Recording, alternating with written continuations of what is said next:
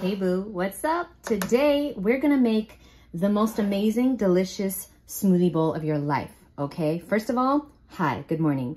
Uh, I wanted to say that I'm really proud of myself today because today I waited until after my workout to make this. So I work out with my Fruity Cuties Monday, Wednesday, Friday, and Saturday at noon Eastern Standard Time live on Zoom. If you'd like to join me, click the link below, misfitmondays.com. All right, you get those workouts uh, included in your membership. Also a live Monday night Q&A where you can ask me anything. You can ask the group anything. There's people in my community. I have a community of over 500 people. There's people that have been raw longer than me. Somebody's been raw 16 years. People that know way more than me. And um, it's just an amazing, magical place to be. So if you're looking for more raw, fruity cuties in your life, then definitely check out misfitmondays.com. So in the mornings, I go to yoga at 8, right? I come home and I'm really hungry. So I usually eat a lot. And today I was like, you know what? No. I'm going to have, I had two or three oranges. And then I was like, you know what? No. I'm going to make my smoothie bowl after my workout. And I'm so proud of myself. So before this, I've had, I think this is about 52 ounces of water. You already know I did it with passion fruit water. So overnight, I just soaked passion fruit seeds in the water and then I strain it and then I drink it and it's so freaking good. And now I'm gonna make my smoothie bowl. So let's make it together. And look, guys, I almost made it. So this morning I ripped open this bag and I was like, oh, I'm, I'm making this now. But I knew that if I had a smoothie bowl at, you know, 10, 11 o'clock, I was not gonna have a good workout because I'm doing a lot of cardio in my workouts and it's just like, I like to work out on a relatively empty stomach, okay? Personally. So I'm putting the whole bag. So that's 10 ounces, I guess. Okay, so all these mixed berries. And then here's the secret, okay? Here is the secret. And I was thinking about doing a course on this, but fuck it. It's just a YouTube video. You want to use super ripe, delicious bananas. Okay, I have some ripening here. And you want them to be fresh. Okay, not frozen. I do recommend you get super delicious bananas because the more delicious the bananas are, obviously the more delicious your smoothie bowl is going to be. You know this is my brand. I fucking love this brand. If you can get this brand, boo. Woo! Let them ripen until they peel silently. And then I'm going to put about, I don't know, maybe six bananas in there. Yeah, let's do six. So we got four, two more, and here's the secret. You ready? No water. Because the bananas are fresh, you do not need any water. Unless you're doing a smoothie, even though, even then, I wouldn't use water. I would use coconut water or sugarcane juice or orange juice or apple juice. If you put water into your smoothies or your smoothie bowls, just a heads up, it's gonna be watery.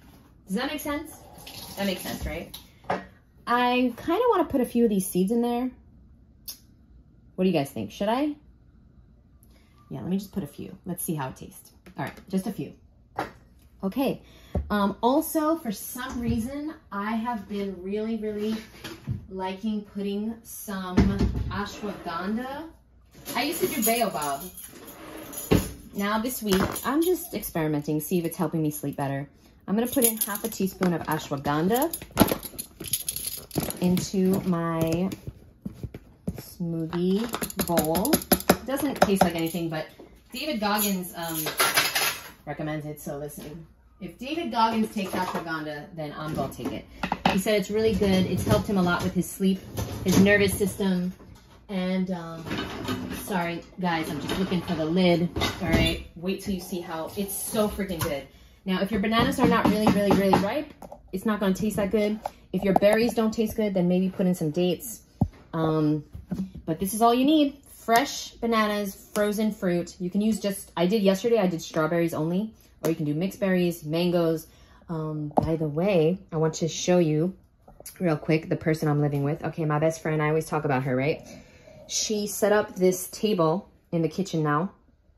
Got my Berkey on there. Um, you got her, um, her equipment, you know, the cooked food equipment, right? And I come in the kitchen this morning it's a brand new table. And look what she writes. This is Awa's section. Don't even think about it. Because I told her, I mean, I asked, I was like, hey, can I put fruit on this table? She said, don't even think about it. You know what I do? I'm put that right there. I'm put that right there. Okay, how dare you, how dare. Okay, so anyway, that's who I'm living with. Just so you guys know how hard it is for me to be a raw vegan in this house. No, just kidding. It's not hard, but just want to show you guys that. Okay, here we go. Gotta push it down, boo. Probably better idea to put the bananas on the bottom, but fuck it. We fucked up. That's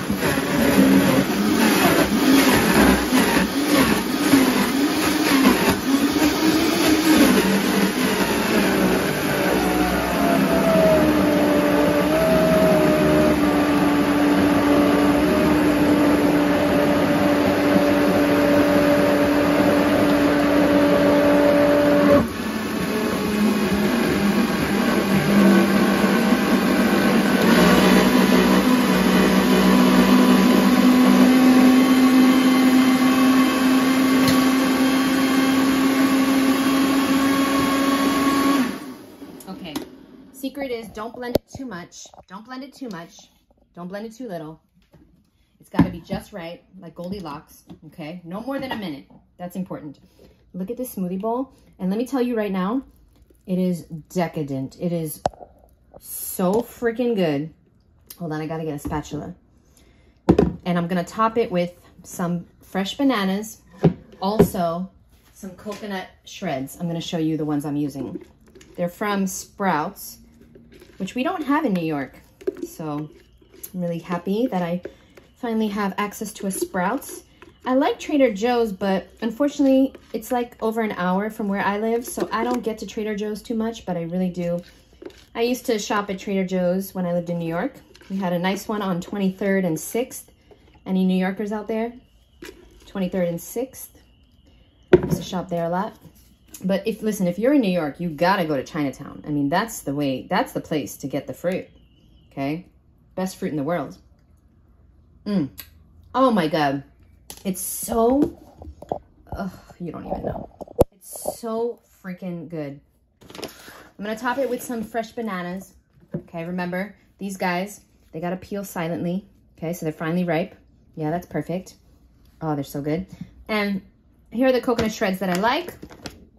So let me just do that now while I have you guys here. Thank you very much to my beautiful friend Stephanie who sent me these bowls, these coconut bowls, which are so beautiful. And they keep the smoothie bowl cold.